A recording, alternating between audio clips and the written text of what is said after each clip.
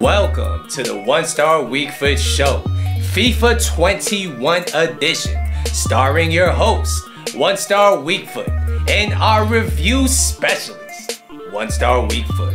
Back. Good evening, YouTube, and welcome to another episode of the One Star Weak Foot Show. Your one-stop shop for player reviews. I'm going to be your host today. One Star Weak Foot, and that makes me feel great to see you back on the channel.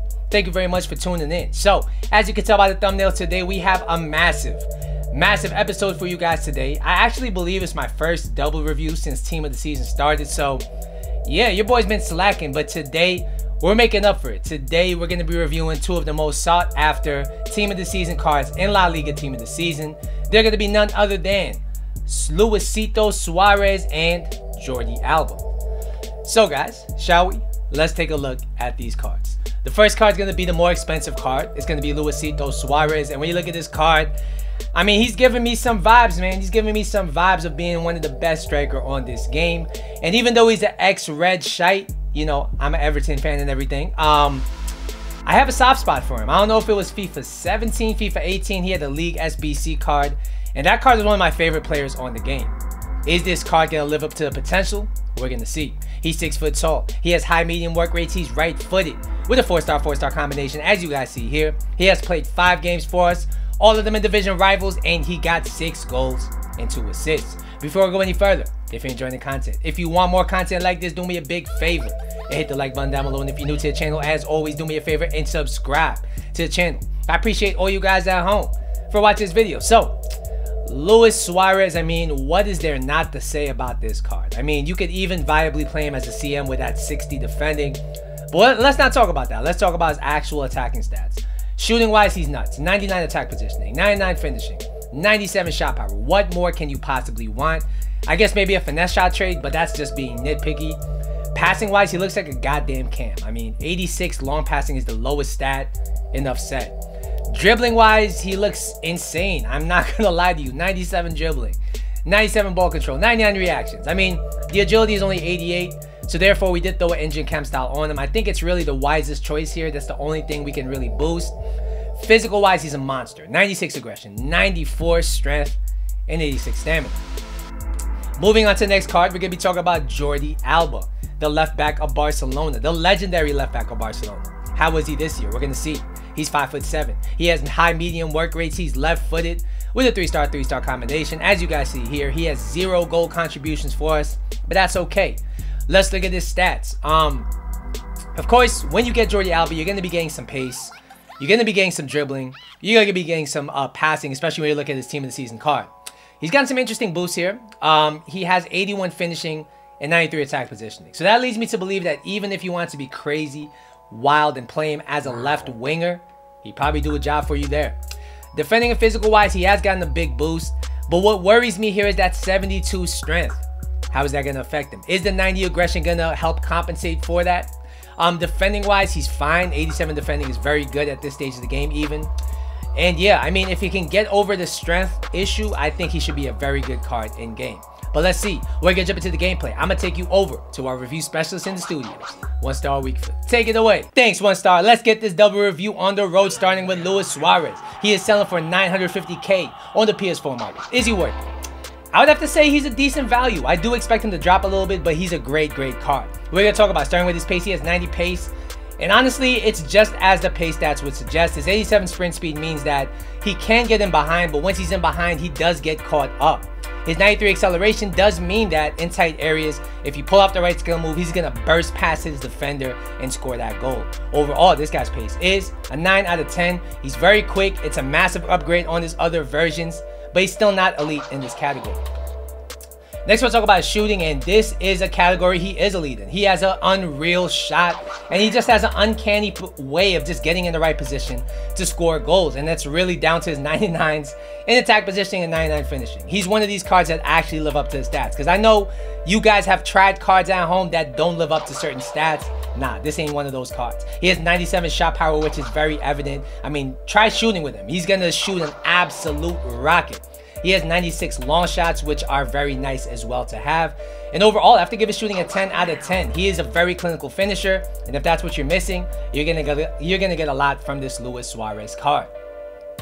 Next, we'll talk about his passing, and this was a pleasant surprise from this card. It allows him to play the cam position, which might be a deal for him, honestly, because he only has 90 pace. And I, I say only because the power creep has made that a very average stat at this stage of the game. It's kind of stupid. But going back to his passing, I think he was brilliant. He was a great playmaker of the of the ball. He has 94 vision, 93 short passing, 96 curve, which are brilliant stats and they definitely translate in game. His 86 long passing means that he could even be somebody who brings wingers into the game. He could he could be somebody that could switch the play very effectively. And overall, I have to give this guy's passing a 9 out of 10. He's a very good playmaker and definitely suited for the cam position if that's what you want. Next, we'll talk about his dribbling because the face stat is crazy. 96 dribbling. Does it feel like that in the game? I would say no. All right, do not get your hopes up to be feeling like an elite dribbler on this game at 96 dribbling. That being said, he's very, very good. I would say he's just a step below elite on the ball. And I think a lot of it just comes down to his body type. A lot of it comes down to his um, only 88 agility.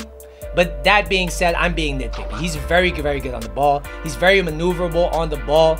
And um, it's very rare to have somebody with such high strength and such high dribbling. You definitely feel that he's very, very sticky. Even when he gets dispossessed, he tends to get second and third chances. Um, his close control is absolutely brilliant. Um, and his L1 and R1 dribbling is very nice. He can get himself in positions to get shots off in tight areas. He has 98 composure, which means that you know he loves the pressure. Overall, this guy's dribbling is a 9 out of 10. Once again, just a step below elite, but still very, very good in his own regard.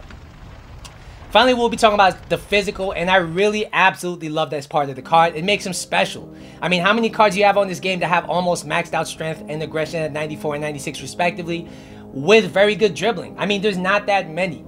Um, and you definitely notice it in game. I think that's part of what makes him super sticky. It makes him very, very hard to get off the ball in general. I mean, his shielding is brilliant. And his 86 stamina means that he lasts all game. Overall, this guy's physical is a 9.5 out of 10.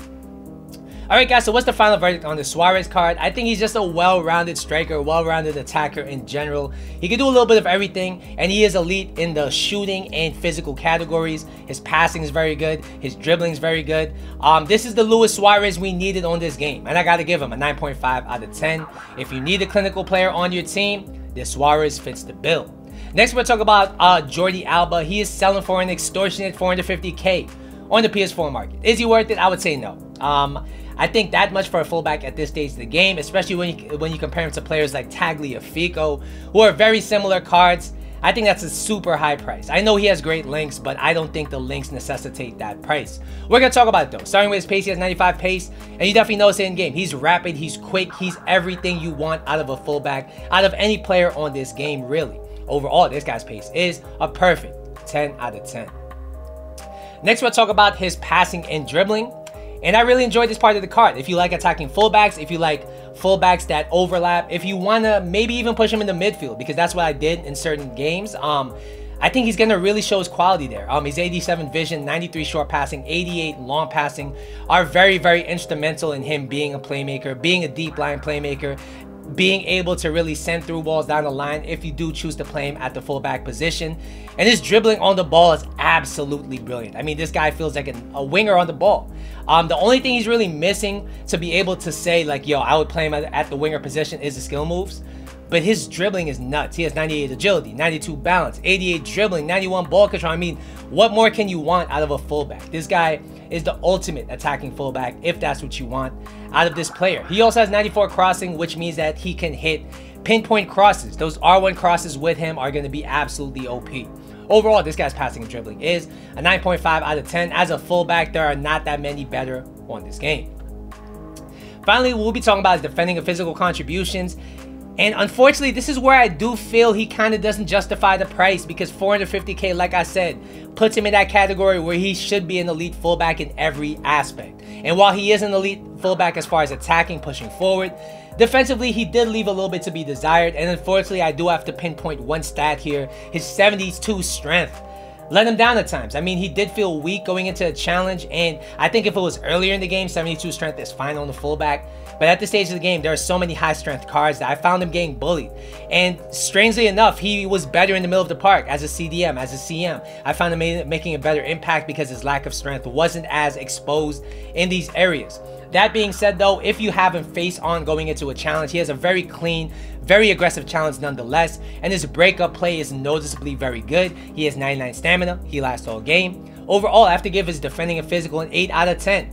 Alright, he's not elite, but at the same time, he's not bad. He just did disappoint a little bit given his price tag. Alright guys, so that's going to be my double review for today. I would give this Jordi Alba card an 8.5 out of 10. I don't think he's worth the price at all. Uh, strangely enough, I do prefer Tagliafico to him, who's only an 80k card. Um, but I do think if he drops to maybe 150 or 200, I would I would say that's a decent price. Um, that's going to be my double review for today. I'll see you guys in the next episode, but until then,